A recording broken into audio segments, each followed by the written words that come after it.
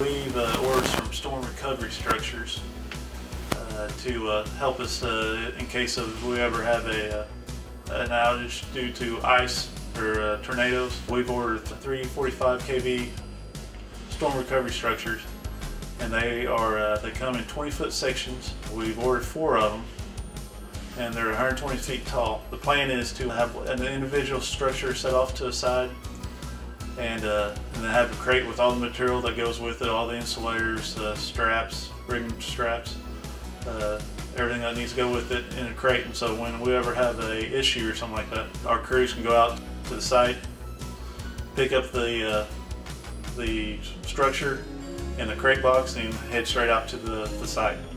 The structures uh, is mainly a, uh, a, a single pole structure with a kind of like a pinpoint bottom it fits on the uh, uh, fits on top of a, metal platform, and it uh, stands up by guy wires. You have, uh, I believe, eight guy wires for a 120 foot structure. We also are able to use it for our 161 kV lines if we need to, if we have a power outage or uh, some kind of failure there. We did a, a trial deal in a, over at Pelco where we had one of our crews go over there and uh, try to construct one, which was a good idea because uh, we want to see what kind of problems were represented.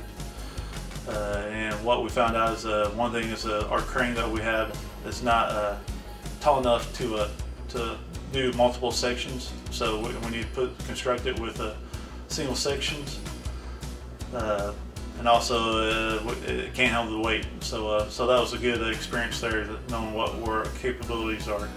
also, there was a discussion on on the rigging strap. Uh, they were worried about it wasn't strong enough, and so uh, so uh, there's a lot of good things that came out of that scenario where we tried to put one up. So I think this is a, a good start for us. Uh, where we'll be uh, ready for any kind of storm event that comes along.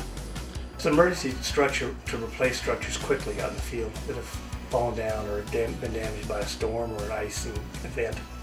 And the whole idea is it can be put up in one day because there's no concrete foundations to pour. It's all, it's all got screw and anchor foundations and quickly stands it up and it's a guyed structure. It's, it's meant, intended to be temporary until they can replace whatever structure was damaged. I think utilities, they need this. It is, it is so costly to have a line go down for any period of time at all. If they can cut the time down from three days to one day, it's worth it. It's worthwhile because this structure is to be taken down, stored, and reused again. So it's not like you're buying a lot of these things. You're just buying enough of them to handle your storm restoration. GRDA is the first one to try out this structure. And hopefully they'll never use it. But if they do, we'll find out immediately if it uh, meets the goals we've set for it.